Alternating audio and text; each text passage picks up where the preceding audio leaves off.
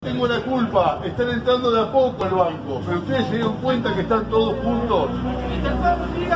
Yo no soy, ver, yo no soy empleado del banco, yo soy empleado hospitalario de la provincia de Buenos Aires, pero veo lo que está pasando acá y la verdad es terrible, están todos juntos, no hay distancias el uno con el otro. Pero a ver, yo no tengo la culpa, yo lo que estoy diciendo para ustedes, un bien para ustedes. Entendeme, le estoy diciendo para un bien para ustedes, esto no es malo para ustedes.